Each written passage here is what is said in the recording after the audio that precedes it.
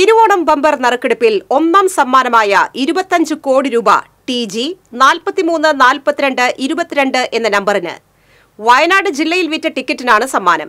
ബത്തേരിയിലെ N G R ലോട്ടറീസിൽ നിന്ന് നാഗരാജ് എന്നയാൾ വിറ്റ ടിക്കറ്റിനാണ് സമ്മാനം ലഭിച്ചിരിക്കുന്നത്. പനമരത്തെ എസ് ജെ ലക്കി സെന്ററിൽ നിന്നാണ് നാഗരാജ് ടിക്കറ്റ് എടുത്തത്. ഒന്നര മാസം മുൻപാണ് സമ്മാനാർഹമായ ടിക്കറ്റ് വിറ്റത്.